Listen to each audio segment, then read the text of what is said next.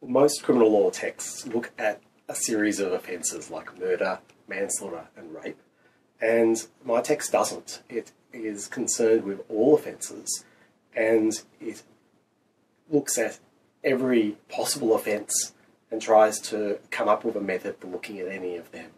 It has lots of examples, but they're not traditional examples. They might be of drugs or pollution or the like, uh, or of murder or of rape, but there's no particular offence the text looks at. The point is to be able to look at all of them.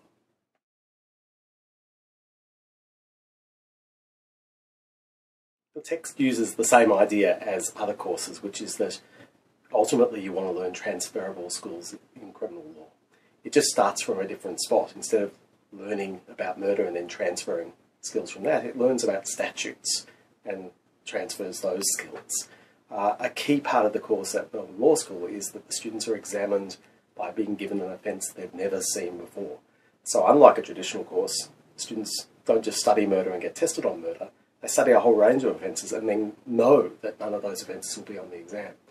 A traditional course could do the same thing, although my view is that you get the most out of the course, even if you taught it in the traditional way, if you set the kind of assessment where you give students an offence they haven't seen before.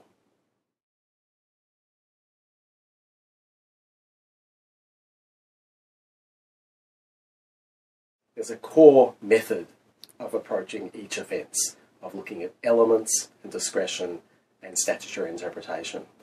And that's in the first half of the book. And the second half of the book is the complexities and variations. Words can be standards. You might have to look at others, uh, association with a crime or incomplete crimes. And those are all variations on that first theme.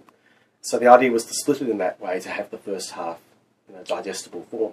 One advantage I've found in the last few years is that you can teach the course in two ways. You can teach a course based on the entire book, or you can teach a course that focuses on the first half of the book and just dips in and out of the second half while discussing other offences.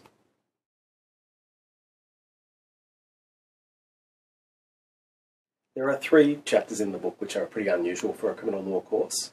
One is on standards and looks at the difference between proving facts and proving standards like reasonableness or dishonesty. And the other two look at players in the system, victims and the states. I think all courses cover those sorts of issues, but I found it was really useful to look at those things in their own chapter. I didn't plan to do it that way when I wrote the book, but it just seemed a natural way of dealing with the topic of criminal law in the way I was approaching it as a statutory interpretation approach. It was just one of those fortuitous things, but I think those chapters now work really well in exploring bits of the criminal law that otherwise get missed.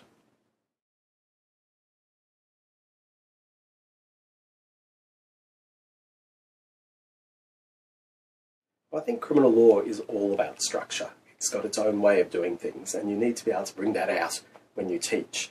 Uh, people who teach particular offences have already made structure in the way those offences are framed, but because I don't teach particular offences, it was important to have a consistent structure for each topic so that students knew how to find their way through a textbook. And the structure here was to first of all identify the problem and then to explore the general approach to that problem that the criminal law takes, but then to look at variations at the end.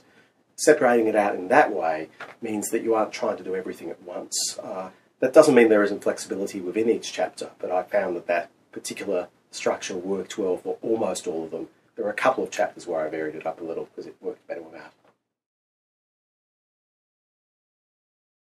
Well, the textbook has, of course, been updated for developments in the law in the last few years, but there are two particular changes I made having taught with the first edition now for quite a few years.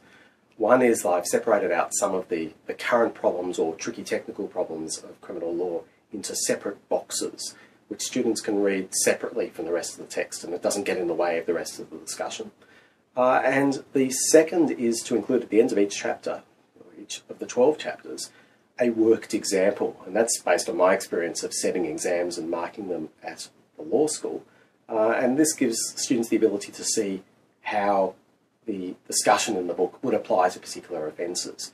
One thing I did with those examples is I didn't do, just do 12 separate examples, they're linked because uh, different offences raise different issues in different parts of the course, and students can see how different bits of the textbook affect